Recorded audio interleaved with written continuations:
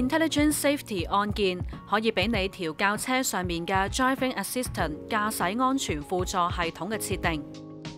按键灯号显示绿色，代表所有辅助系统功能已经启动。